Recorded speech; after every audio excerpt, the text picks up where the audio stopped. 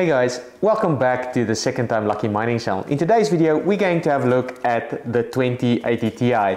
Yes, I'm still buying GPUs, albeit not at the same pace as what I used to, but if I do spot a good deal, I'm still picking it up. If you do like the GPU content, please like the video and maybe consider subscribing to the channel. It will help me out a great deal. But let's jump into the specifics. If you're not following me on Twitter or you haven't watched some of my previous videos, I'll leave a link in the video description and tag it at the top, but this is not my first 2080 Ti. Yes, I've managed to scoop up three other 2080 Ti's, also the exact same model, the Strix model, on Facebook Marketplace before, but I haven't done a dedicated video on it, and that's exactly what today's video is about. So I wanted to talk about the specifications of the 2080 Ti, I want to talk about what it does on what I at least consider the best coin to mine with the actual card, and then have a look at some of the other coins, specifically Ravencoin and Ergo, and what it does from a power consumption point of view. So I'll throw it on the test bench and show you guys what it can do. Now, looking at the specifications, this specific Strix model comes with three beautiful fans.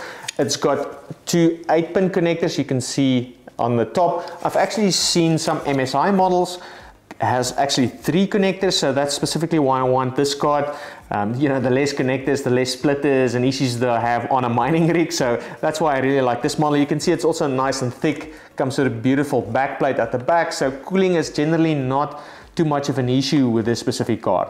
Now, on the specification side, it comes with 11 gigs of GDDR6 memory, so it's not the 6X, so it tends to um, not run as hot as some of these newer uh, 30 series cards like the 3080 or 3070 Ti or 3090 for that matter, so it doesn't have the same um, memory um, and hence this one is a little bit cooler. On a bus perspective, it's got a 352-bit bus, so we do like big buses on this specific channel, so you can see it's got a big bus and hence, hence why I'm interested into it. Um, looking from a gaming perspective and where this card compares, it compares more or less the same as a 3070. Um, the 3070 has got a smaller bus, um, so it's got 256-bit bus, also uses the same memory. It's got the same TDP, so as you can see, it stacks up nicely the 2080 Ti with a 3070. Um, but, you know, as I mentioned, from a mining perspective at least, this thing absolutely destroys Flux and some of these other algorithms that is core intensive. So I really do like this card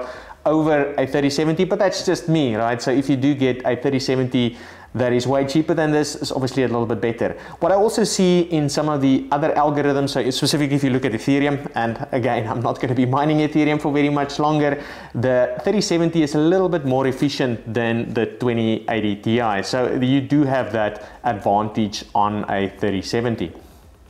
Now let me throw it on the test bench and show you guys what it can do. So here we go. This is my makeshift test bench. I wanted to put it on the open air frame, but with all the wires and with my Elmor Labs PMD, it became a little bit of an issue. So I thought, okay, well, I'm just testing it, so I'll just put it next door. Now, looking at ambient temperatures, because I think that's important for anybody looking at the results that I'm actually getting, because it will differ. Um, this is Celsius, so it's 13 or 14 degrees in the house at the moment, so nice and cool, and hence why I want a GPU mine in the home. Um, and you can see it's 57 from a Fahrenheit perspective. So that's now for my America friends. Now, looking at the overclocks currently that I apply in HiveOS, so you can see I'm currently mining Flux and looking at it, there is my 2080 Ti specifically on the sole. So I'm getting about 100, but that would gradually go down. So if you haven't mined flux before, you would typically see it coming down slightly. So you can see the, the fan is not really spinning heavily. It's nice and cool in the home, so it's definitely not an issue. Looking at the overclocks, I'm adding 175 on the core and then um, on memory 2600. So you probably can push it a little bit harder. I've seen people push it harder, but you know, on my other ones, this is where I'm finding it stable. Now, looking in it from the shell perspective, so let me just quickly jump into the shell. So here you can see this is typically what you would get. So it starts off at 100 and gradually goes down to anything between 96 and 98, or that's what I find in all of mine, using Mini Z. So if you want to mine Flux, you should be using Mini Z. That's definitely by far the best miner specifically for the 2080 Ti's when we mine Flux. They've recently done a patch um, or a new version that gives you better hash rate on the 30 series card. So definitely check out Mini Z if you've got a uh, NVIDIA rig. I, I, know they also now added um, AMD GPUs in there, but I haven't physically tested it. I think it's only supporting the um, RX 580 and, and those Polaris Gen GPUs. Now, looking at the Elmor Labs, what is it saying? So just to make sure from a software perspective, it was saying 240 watts. It's obviously a little bit more than that. Look at the, looking at the PSU utilization. So if I just power it, not interested. If I look at the total power, you can see here it jumps massively with flux. So Anything from about 220 watts to 330 watts. So it jumps quite quite a lot. So looking at the Elmor Labs PMD, I've got um, you know two or three eight pins going in. So this is obviously coming from the PSU side. So, and then there's one there and there's three coming out. One of them is going to the riser and the other two is powering the two 8 pins there. So you get an accurate reading of exactly what is the power of the actual GPU pulling at this specific point in time. So there we go, that is the flux benchmark. So as I mentioned, you get anything between 96 and 100 sols, and that's actually quite good considering the wattage. And if I quickly just jump into the shell again, that's about 0.4 from an efficiency perspective. I've seen it going to 0.41 if I tweak it slightly, but that's about what you get. And to be honest, I think that's probably as good as any of these other cards can get, or in my opinion, it's probably one of the better ones. Now, let's have a look at some of the other coins that you can mine. So let me just go back to my flight sheet here and apply something different. So what I'm quickly looking to apply is Ravencoin. So let me quickly go and do that.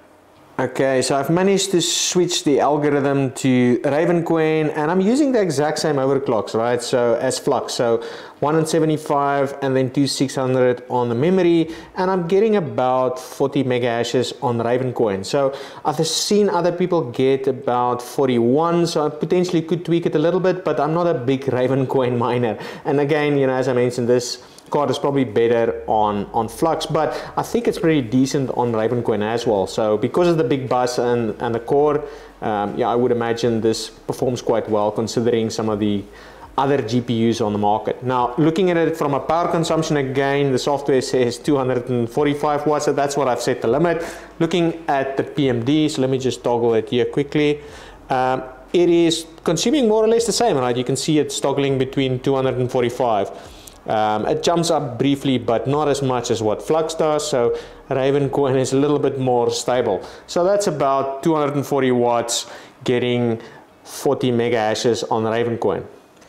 Here we go, managed to get Ergo going. So looking at it from a mega hash perspective, I'm getting around 120 mega hashes. And if you look at my overclocks, I actually took everything off and I've changed miner. So it crashed a hell of a lot of times. So I'm not sure what's wrong with the overclocks. I didn't like my flux overclocks on Ergo, and you know, to be honest, I don't think those are efficient overclocks in any way for Ergo. So if you do have some overclocks on Ergo, just let me know. I'd love to try out your overclocks. But looking at it from a power consumption perspective, you know, in the software it's saying 235 watts, and looking at the Elmor Labs PMD, it's about that. So it looks about 220 watts or even a little bit less than that. So that's what it's currently pulling stock standard, right? So I'm pretty sure I can get this thing at 150 watts or around there. Um, you know, that's what I suspect I might be pulling. But that's it for the three coins that I'm expecting to test now. I mean, you know, for me, it's probably better on Flux in any. So I'm just going to quickly switch it over and put it into my Octominer case. That's it for this one guys. If you've liked the video, please like it and maybe consider subscribing to the channel. If you didn't, please specify in the comments what you would like me to change. On top of that, I'd love to hear what your overclocks are with the 2080 Ti on the various different coins. Otherwise, I'll catch you in the next one. Cheers!